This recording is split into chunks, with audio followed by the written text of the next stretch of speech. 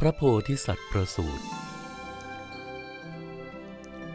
เจ้าชายสิทธัตถะสร้างปรากฏการ์มหัศจรรย์เพราะประสูติจากพระคันพระมารดา ก็ทรงพระดำเนินด้วยพระบาทไปได้เจ็ดเก้าเบื้องใต้พระบาท มีดอกบัวรองรับ พร้อมกับยกพระหัตถ์ขวาและเปล่งพระวาจาออกมาว่า เราเป็นเลิศ เป็นผู้เจริญที่สุด เป็นผู้ประเสริฐที่สุดแห่งโลก การเกิดของเราครั้งนี้เป็นครั้งสุดท้าย ปัดนี้พบหน้าไม่มีอีกแล้ว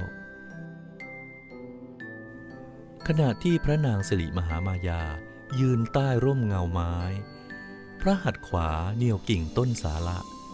สถานที่ประสูตินี้เรียกว่า ลุมพินีวัน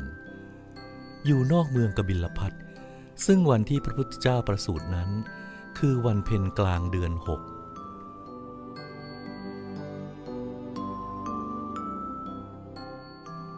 อมิตดาบท พระฤาษีซึ่งเป็นที่เคารพนับถือของพระเจ้าสุดโทธนะ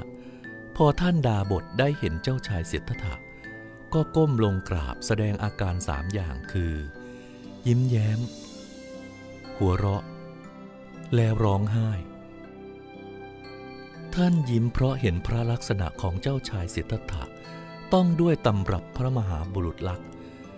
ถ้าอยู่ครองเรือนจะได้เป็นพระเจ้าจักรพรรดิ แต่ถ้าออกบวช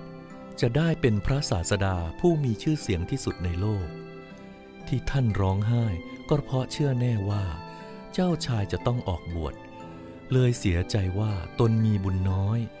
ไม่มีโอกาสที่จะได้ฟังธรรม ฝ่ายเจ้านายในราชตระกูล ทราบว่าพระดาบทกราบพระราชกุมาร ต่างก็มีพระทัยนับถือพระราชกุมารยิ่งขึ้น จึงทูลถวายโอรสของตนให้เป็นบริวารของเจ้าชายสิทธัตถะ